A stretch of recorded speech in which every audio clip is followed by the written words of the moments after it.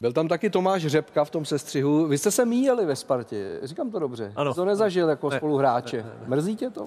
Nemrzí.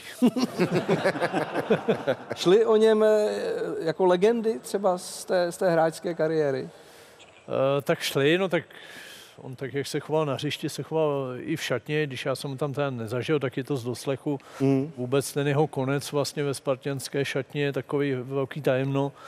Velký tajemno, uh, nevím, no, prostě tak to je. A vlastně Ale sprchy tam asi vytrhaný nebyly, podle sprchy mě. ne, tak ty tam zůstaly a jsou tam asi dodnes. To se děje, Ivane, že někdo vytrhá sprchy třeba po zápase Real Top Praha?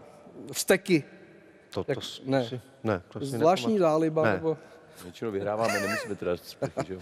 No. No, Jo. no, my vyhráváme, takže netrháme. Nicméně máš třeba pochopení pro blikance, protože Tomáš Řepka rovná se blikanec, že jo? Jako mám pro to pochopení. No, může se to stát, ale v jeho případě to, to je asi jiná. Hele, já tak začínám už No. kozlovatět. v jeho případě to je trošku něco jiného. No. Jo. Tam už to bylo. Já jsem ten zápas hrál. Jo. Ten- jsi se nemil potom? Pak jsme jeli v teplákách rovnou, no, protože jsme se neměli kde umýt.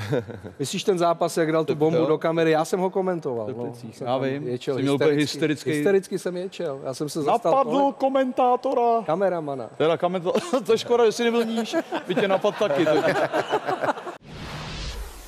Líbí se vám tahle ukázka z Tiki Taka? Puste si další na kanále O2 TV Sport.